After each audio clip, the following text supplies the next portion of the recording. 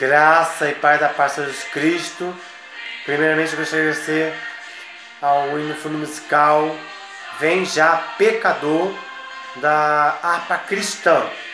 Não esqueça de curtir, comentar, se inscrever, compartilhar com seus amigos, dar um toque no sininho para receber nossas diárias no canal no YouTube, professor psicopedagogo Carlos Alves.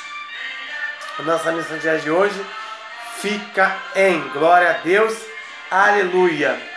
1 Coríntios capítulo 4, versículo 20, que diz, aleluia.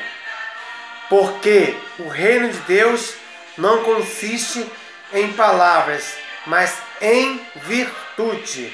Aleluia. O reino de Deus não consiste em palavras, mas em poder. Assim sendo, os membros desse reino precisam ter mais do que palavras e mensagens. Devem manifestar também o poder do Espírito Santo.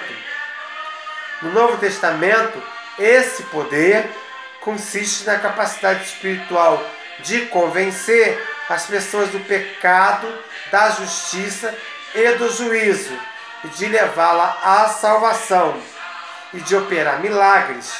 Glória a Deus, aleluia.